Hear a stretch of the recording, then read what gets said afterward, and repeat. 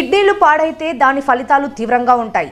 ఇంకా డయాలసిసే దిక్కు. డయాలసిస్ అంటే మన ఒంట్లో రక్తాన్ని తీసి కొత్త రక్తం ఎక్కించడం. ఇది వారానికి రెండుసార్లు చేయించుకోవాలి. బ్రతికినంత కాలం అలాగే చేయాలి.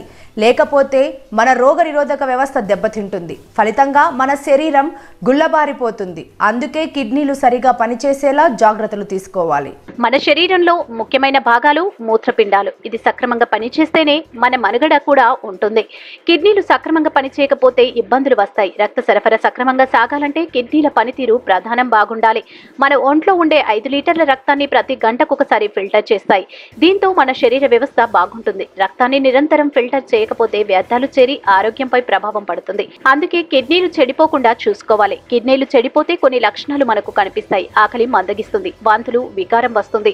మూత్రం రంగు కూడా మారుతుంది. ఇలాంటి లక్షణాలు కనిపిస్తే వైద్యులను సంప్రదించాలి. సరైన చికిత్స చేయించుకోవాలి.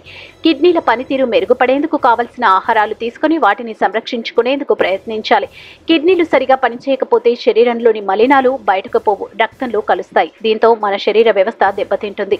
కిడ్నీలు సరిగా ఉండాలంటే వాటికి మంచి ఆహార పదార్థాలు ఇవ్వాలి. బాగుండేలా చూసుకోవాలి.